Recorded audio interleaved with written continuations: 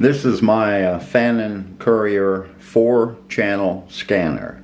I purchased this scanner in 1975 when I worked at the newspaper.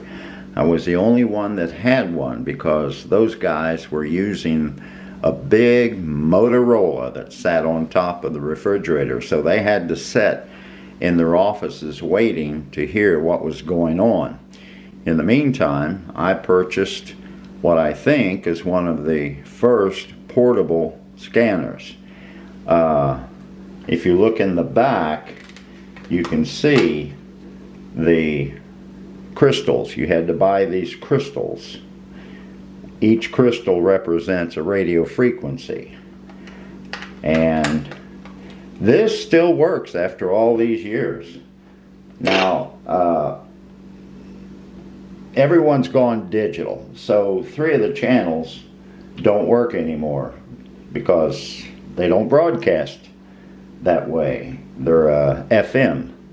But impacts at 40.0 feet, low-lying areas surrounding Point Pleasant and vicinity are flooded due to backwater.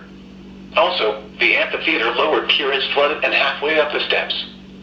Salt Creek Road, Han and Trades Road, Huntington Road, and Boggs Run Road and Mason 80 Road start to flood.